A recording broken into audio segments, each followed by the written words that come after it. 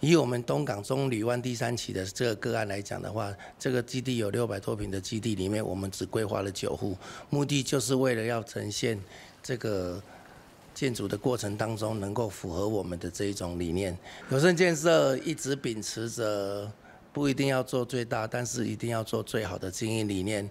来规划我们的每一个案子，我们会以这个科技、人性、百年建筑的理念来作为我们的规划蓝图。那我们以这个个案来讲的话，我们秉持的过去公司这一路走来的那种巴厘岛的休闲风。那在这个东港南台湾的这个乡村都市里面呢，其实东港基本上是算是生活条件比较好的。我们设计规划上就会采用斜屋顶、棕榈树。鸡蛋花的这种所谓的南洋热带的风情为我们的主要的建筑规划，所以我们会有斜瓦，我们会有这个植栽绿化，让整个家的氛围，它除了回到家是一个休息的地方以外，它还是一个心灵洗涤的地方。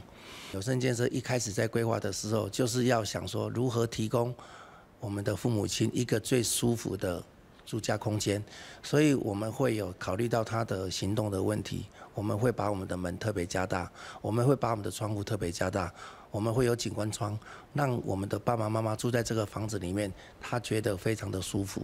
那我们还有替这个男主人考虑到说，如果你的朋友来了，我们不是只有客厅的第一个休闲空间，我们还有第二个休闲空间，这个一楼户外的这个。休闲泡茶区，那这休闲泡茶区呢，可以让我们的客户，当你在接待你的朋友的时候，你可以考虑到说，哎，我们的女主人她可能谈的话题跟男主人会不同，所以我们又创造了第二个、第三个休闲空间。所以我们从一进来的那一刻开始，就让他可以感受到有限建设在每一个细节上的坚持。那坚持其实是一件很漫长的路，有生建设这一路走来。除了以不一定要做最大，但一定要做最好的经营理念以外，其实我们是一步一步的在实践里落实。在对客户的诉求上，我们会告诉客户说，我们的房子的外观是不可以改的，实在是可不可以变动的。为什么要这样子？因为这个房子跟这棵树，它会成为一个生命的共同体，让消费者知道说。你在买房子的时候，你不一定要买到我们的房子，可是你一定要买到对的房子。你要知道怎么买房子，你才不会后悔。